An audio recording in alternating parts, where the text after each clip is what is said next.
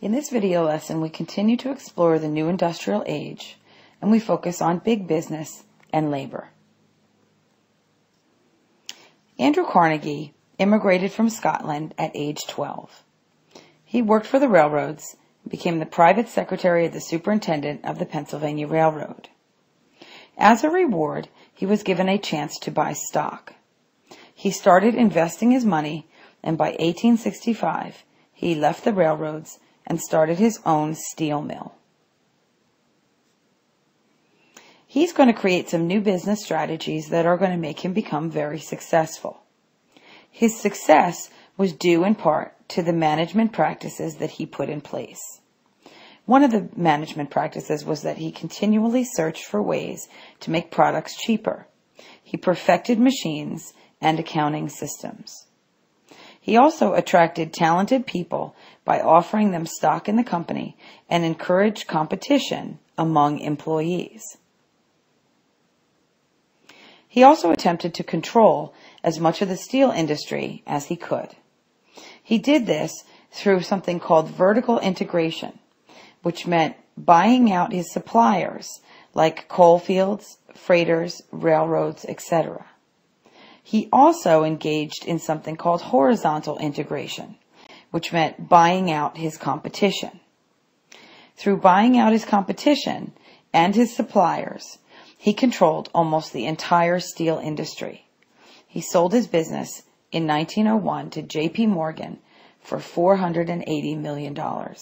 You can see in the picture an illustration at the bottom of the page. Vertical integration involves purchasing of companies of all levels of production. So if you own a meat house, then you're going to also want to own a company that deals with the cattle, the slaughterhouse where the cattle go to be prepared, the railroad cars that the cattle are shipped in, or the meat is shipped in after they've been slaughtered, the cooled warehouses where it's stored, the packing plants where it's packed, then delivery wagons, which then basically deliver it to other businesses that you've sold to. And that would be vertical integration, where you control companies that are involved in all levels of production. Horizontal integration means the purchase of competing companies in the same industry. So you may own your own oil company, but then you're also going to want to own other refineries that are doing the same thing that you are so that you can eliminate competition. Carnegie attributed his success to hard work, shrewd investment, and innovative business practice. Others attributed it to a new theory which was called social Darwinism. This is how they explained why some were so wealthy while others remained poor. They believed in a concept of natural selection that less capable people were weeded out and therefore the rich were the most adaptable and adapted and capable people. They saw riches as a sign of God's favor and that the poor must be inferior and deserved what they got in life. And that is the concept and theory of social Darwinism. People like Horatio Alger promoted the possibility of rags to riches success for people who were virtuous and hardworking. And he wrote about stories about these, uh, this type of thought process. And people during the time period read this and aspired to be a rags to rich success story. Many industrialists pursued horizontal integration in the form of mergers.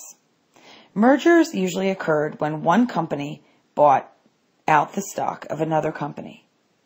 A firm that bought out all its competitors could achieve something called a monopoly and have complete control over the industry's production, wages, and prices.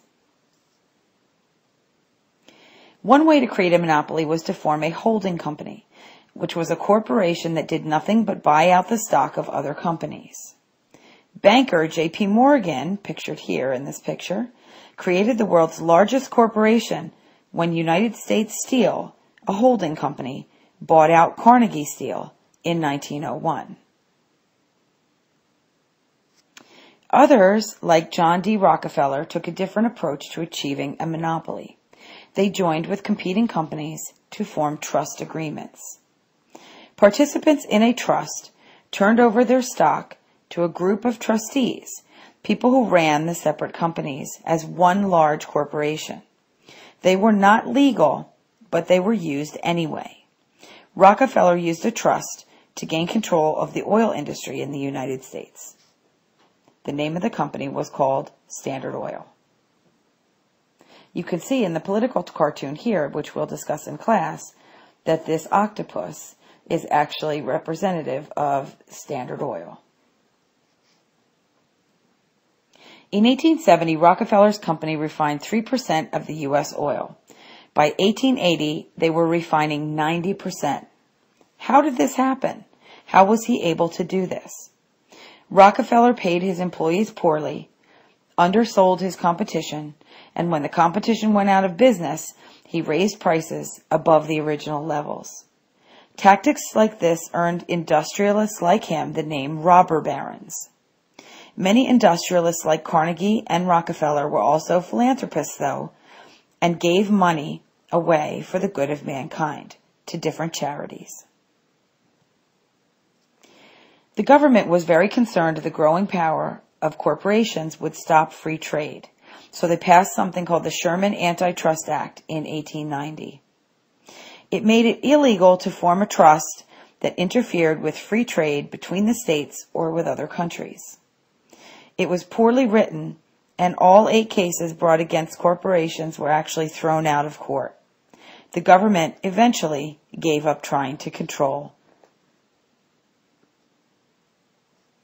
In the next lesson, we'll discuss, we'll continue to look into a new industrial age, and we'll discuss labor unions and how they reacted to some of the business tactics that these businessmen that were becoming millionaires were using to become so successful.